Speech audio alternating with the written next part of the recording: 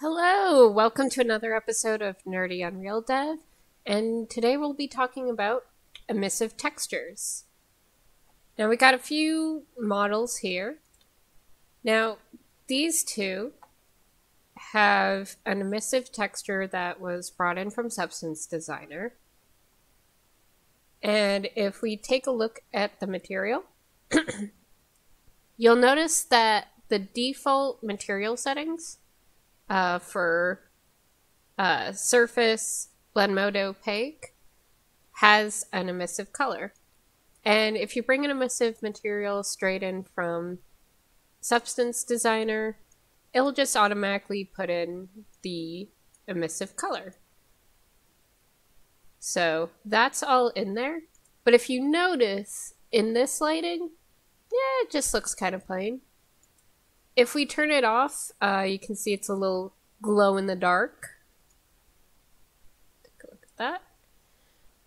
But how do we get it so that the emissive shows up when there's actually actual lighting? Well, we bring this back up and we're going to right click, type in multiply, insert the RGB into A, and then insert the other, oops, just make that full screen so don't have to do go back and forth.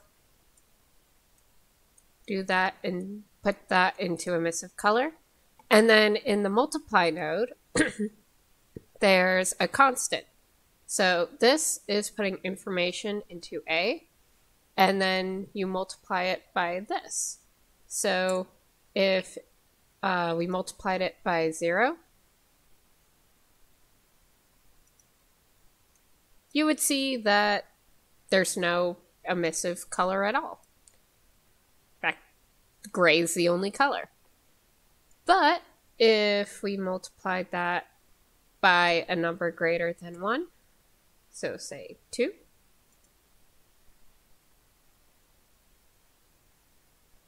Then you start getting a more like bright, glowier emissive. Make that even greater. so you can see even in this like bright daylight, you can see the glow. Whoops. That turned off everything. And it's even brighter now that there's no light. Now, this model here, I just clicked F to frame it. This also has an emissive, but if you see here, it's not really it. There's color, but there's no emissive at the moment. So how do we set that up? Well, as you can see, all the nodes for base color, normal, we've got the pack texture mode here with A going into ambient, ambient, R going into ambient occlusion, G going into metallic, and B going into roughness. So uh, since this is a texture with an emissive, just gonna grab that.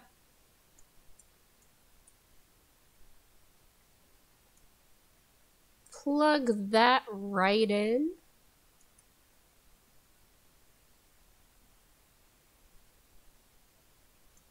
And you can see the glow now.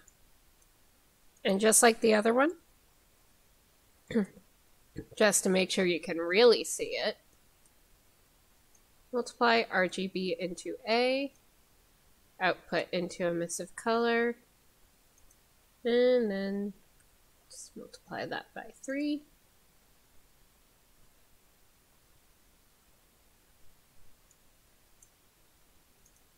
And there you go. Nice, bright, emissive glow. And again, that was right click to bring up all these nodes. And you just instantly type. All right. Thanks for watching.